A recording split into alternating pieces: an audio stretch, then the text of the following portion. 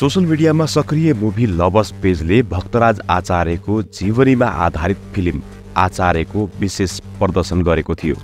आचार्य आजभन्दा एक दशक पहिले सन् दुई हजार एघारमा रिलिज भएको सिनेमा हो।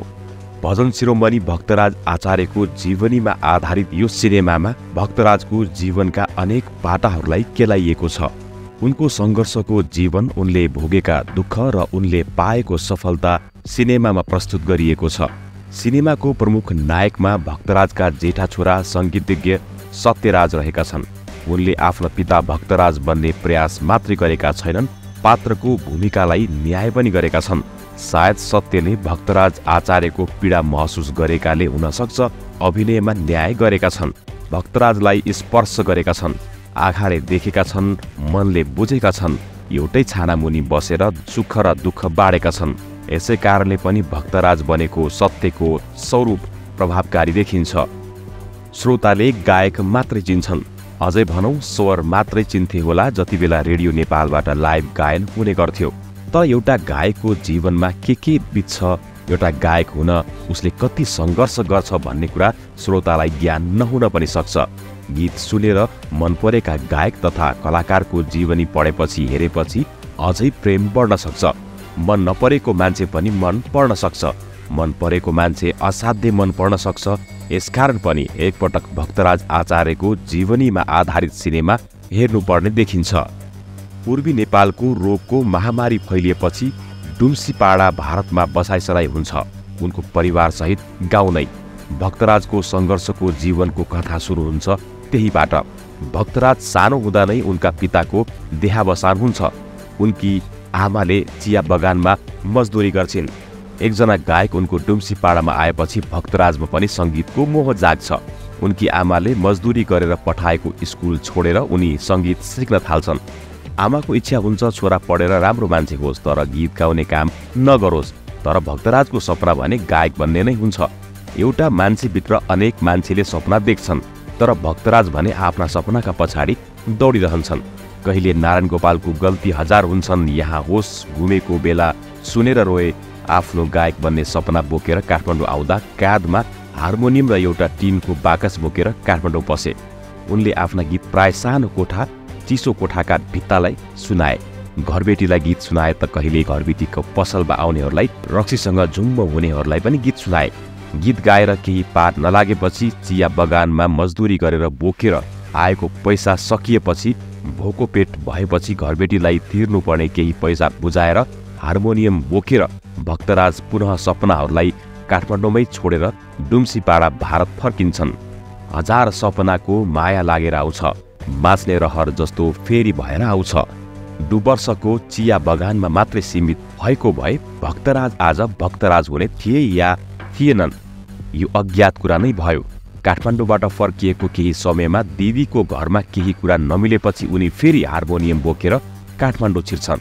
काठमाडौँ आउँदै गर्दा उनले बाटोमा भन्छन् सबैलाई भनिदिनु भक्तराज आचार्य बस चढेर सपना पुरा गर्न हिँड्यौ। उनका कति सपना पुरा भए कति सपना अधुरा रहे त्यो भक्तराजलाई नै थाहा होला। दुई हजार तिस सालमा अधिराज्यव्यापी गीत प्रतियोगितामा भने उनी प्रथम स्थान हासिल गर्न सफल भए। उनीलाई नै थाहा थिएन। उनले स्वर्ण पदक जितेको उनी अभावको खाडलमा भाँसिएका थिए। बिरामी थिए सायद भोक भोकै बन्द कोठामा रुमलिएका थिए। अभावको अगाडि स्वर्ण पदक के गर्नु? उनले छ सय रुपियाँमा त्यो पनि बेच्छन्। उनलाई रङ्गकर्मी सुनिल पोखरेलले अन्तर्वार्ता लिइरहेका छन् र भक्तराज आफ्नो अतीत पोखरिरहेका छन्। रेडियो नेपालको अधिराज्यव्यापी गीतमा स्वर्ण जितेपछि रेडियो नेपाल नै करार जागिर खान थाल्छन् भक्तराज। यहाँबाट पारिवारिक जीवनमा केही सुखद क्षण आएको देखिन्छ। दरबारमा गीत सुनाउँछन् तर व्यवस्थापक अरू नै हुन्छ। पैसा उनको भागमा थोरै पर्छ। करारको रेडियोको जागिर डेराको बासमा जीवन जेनतेन चलिरहेको हुन्छ। माया मेरी साँझ बनेकी डोली चढी आउँछिन् एकान्तमा परेलीमा लुकेर निदाउँछिन्। भक्तराजले गाएको गीत जसरी नै उनको बिहे भयो। उनले दुई हजार रुपियाँ ऋण गरेर नै डोली चढे भनौँ बिहे गरे। डेरामा लिएर आए भक्तराजको जीवनले नयाँ मोड लियो। अब यो कोठाको बिरानो सहरमा उनी एक्लै भएनन्। मन लागेपछि गीत सुनाउने भित्ता मात्र रहेनन्। उनकी श्रीमती पनि भइन्। आधा रातमा सङ्गीत फुर्दा उनको आलाप सुन्ने। जति चोट दिन्छौ देउ मायालु मुटुभित्र साँचेर राख्नेछु।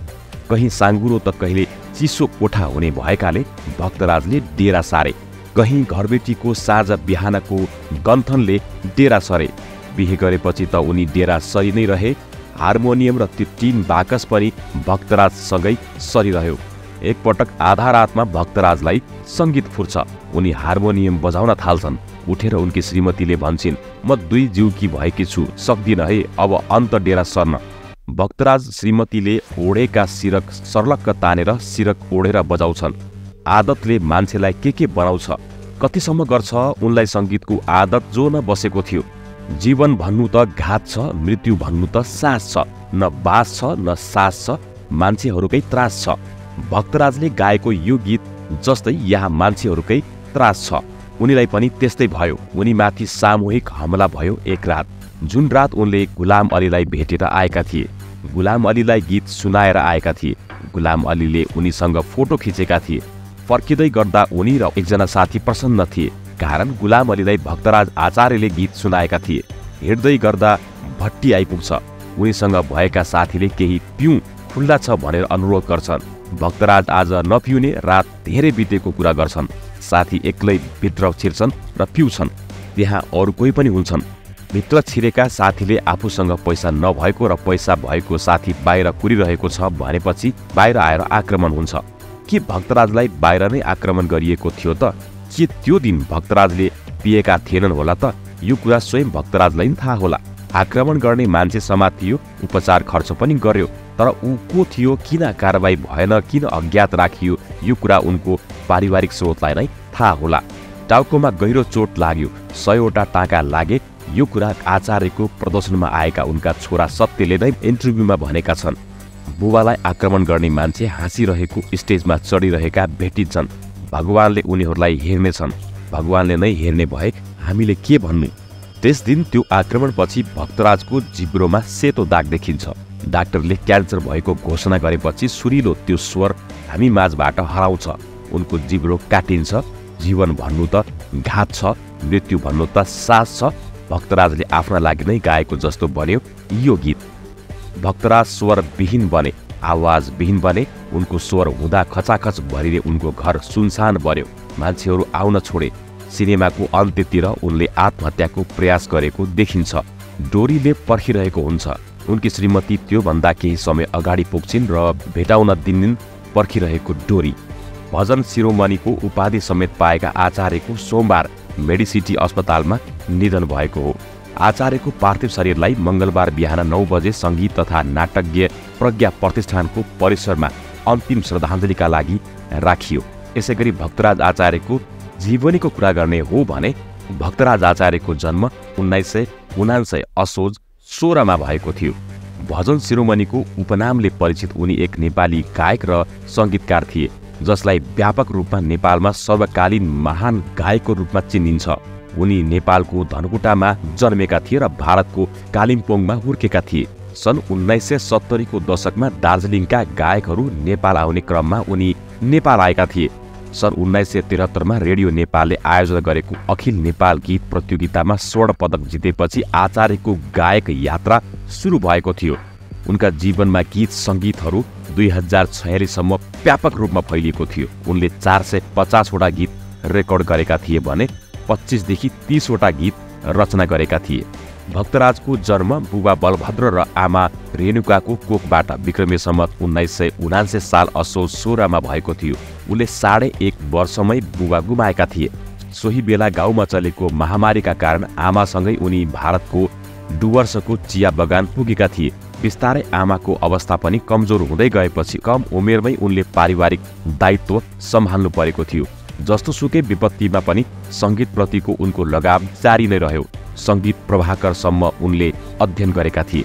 तिसको दशकको सुरुवातसँगै उनको साङ्गीतिक जीवनले मोड लिएको थियो।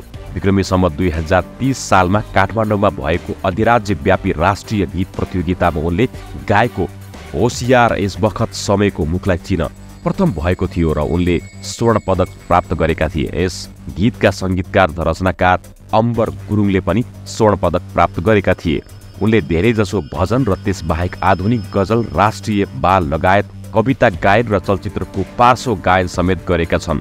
युगल गीत भने चारवटा मात्रै गाएका छन्। भक्तराजका गीत सङ्गीतमा चर्चित एल्बमका कुरा गर्ने हो भने भक्तराज आचार्यका आधुनिक गीतहरू समर्पण भाग एक र दुई हजार सपना सिडी जहाँ छन् बुद्धका आँखा त्यसै गरी भगवान।